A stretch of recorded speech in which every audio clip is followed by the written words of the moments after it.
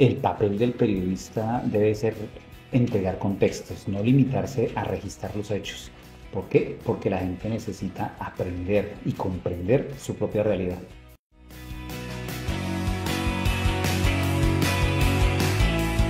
En esta sala de redacción, la labor que nosotras hemos desempeñado es muy importante porque hemos dado visibilidad a otras mujeres que en este momento no la tienen. Hemos dado voz a esas mujeres que todavía no han podido hablar, hemos dado voz a esos temas que todavía permanecen en la clandestinidad.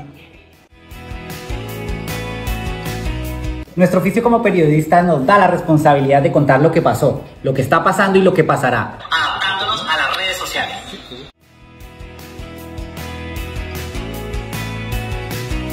La profesión de periodista está llena de emociones, desafíos constantes, retos, llantos y mucho aprendizaje. ¡Feliz Día del Periodista!